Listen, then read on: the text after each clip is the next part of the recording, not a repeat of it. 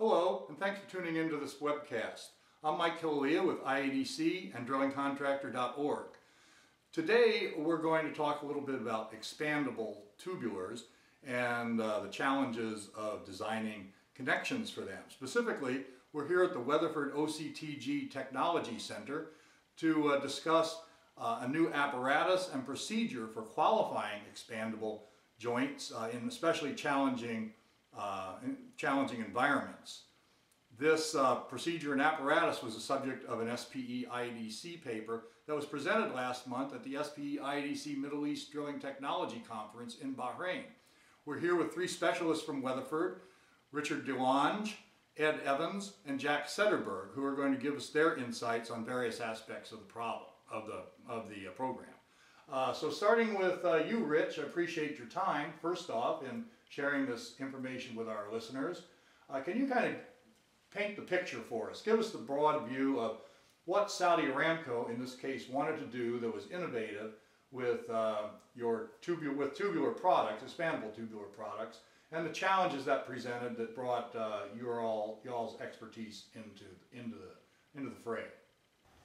Yes, uh, Saudi Aramco uh, for, for a number of years have been doing uh, drilling uh, laterals out of their existing well bores in some old fields using five and a half inch expandable casing uh, as seven inch uh, production liners.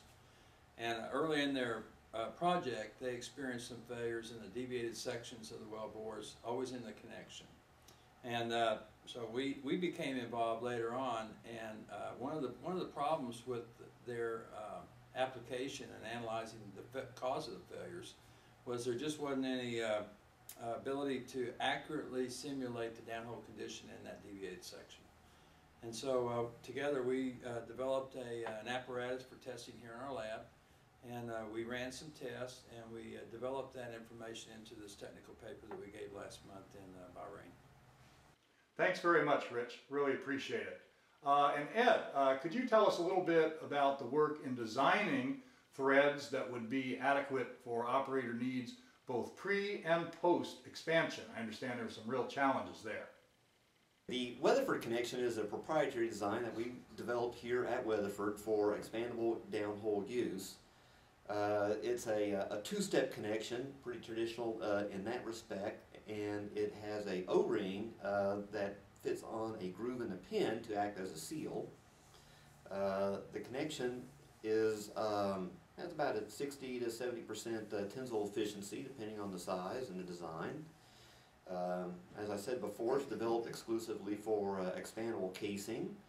Uh, it has seals to make it work uh, so it will work downhole both uh, before it's expanded and after expansion.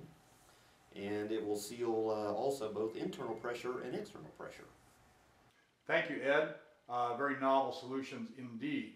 And finally, I'd like to turn to Jack Sederberg, who is uh, the manager of the test facility here.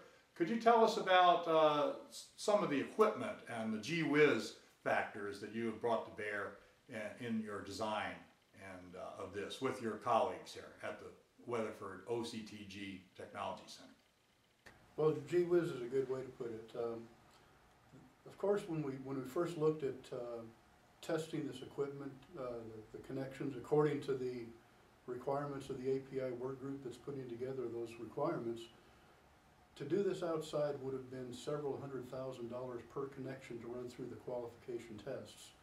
So it became obvious that it was cost justified to develop that technology in-house. So we built the machines and the facility to do that. But also I'd like to emphasize that we recruited the people.